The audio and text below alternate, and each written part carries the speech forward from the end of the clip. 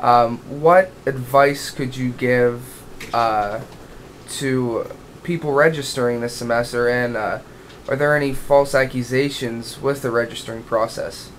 Well, yes, I'd like to answer a couple of comments that were made.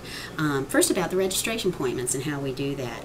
Actually, we don't do them alphabetically most of the time. I keep a, a chart that tells me uh, what I did last, and last year I sorted by birthday. And sometimes I, one semester I'll sort um, where starting with January, then the next semester I'll sort starting with December, then another semester I'll sort uh, by social security number, and I always flip it so that people don't fall in the same sequence each time. So everybody has a chance at having a, an earlier an appointment time. And long lines, um, they really are non-existent except maybe your first year students when it gets to the end. But we, we don't think anybody has to wait more than 10 or 15 minutes. And if you come early, you might even get in just a little bit early if you come about five minutes early.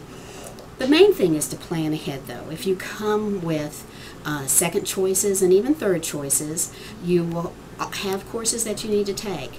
And in addition to that, we have advisors who are there to help you, most from almost every department who can help you find another course.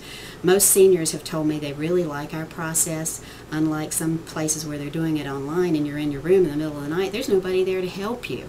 We have people right there who can help you, who can open a closed class, who can help you switch things around so you're not on your own, and we're there to help. Thanks.